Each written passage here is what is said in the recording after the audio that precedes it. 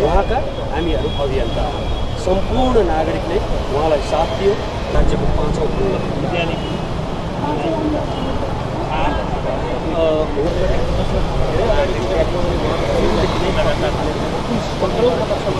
राज्यको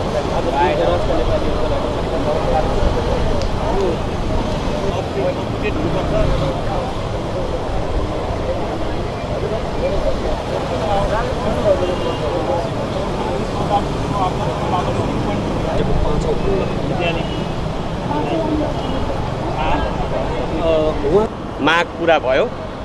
र अब त्यो मागलाई चाहिँ नि अक्षरस कार्यान्वयन हुनुपर्छ।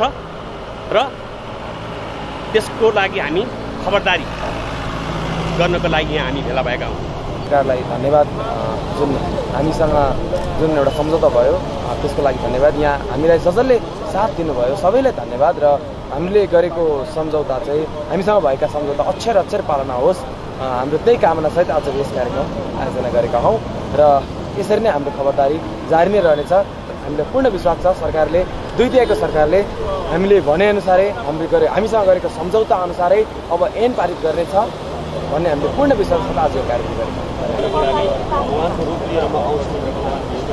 भन्नुभएको थियो।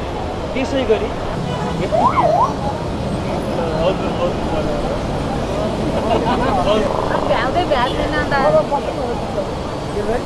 तिमीहरूले जान्ने पल्टेर बेल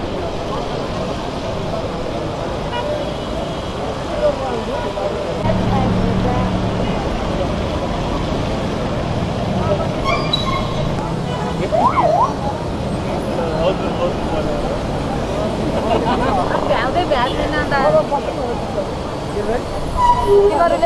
पल्टेर बेल